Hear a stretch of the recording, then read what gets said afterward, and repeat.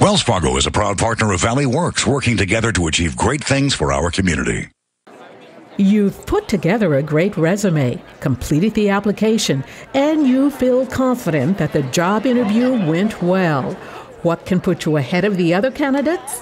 Employment experts say a great recommendation from a former employer. I can tell you many times when someone, you know, might, might have been on the fence about a person, and then we give them those letters of recommendation or the reference that we did, and that's what turns the tide. Kathy Bray with Denim Personnel says your references carry a lot of weight and can make or break a job opportunity. My advice to every candidate that I speak to is to get a reference letter from every employer that you ever worked with. Who writes and what is said in that letter is very important.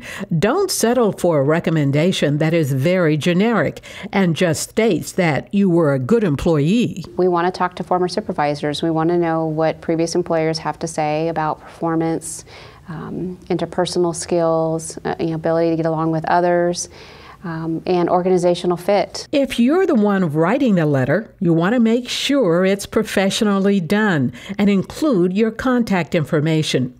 Explain how you know the person and your relationship with them. Describe what makes that applicant stand out. Highlight their skills and personality traits.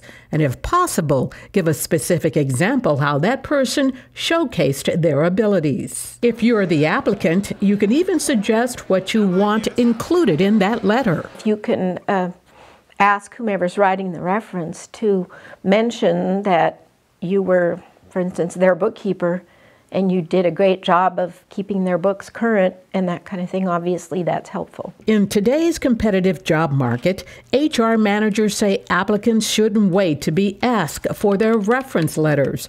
Karina Pedroza with the Economic Opportunities Commission says her office can receive thousands of applications a month, and she appreciates receiving the information up front. It expedites the process, and often our application includes a section for references, and the individual can also upload letters of recommendation with their submission. Pedroza reminds those looking for work that it's a small world when it comes to the local job market, and everyone knows someone, including a former employer. My recommendation would be to never burn any bridges um, and to definitely just um, keep a a friendship with your with your coworkers and with your supervisors and it's a small world.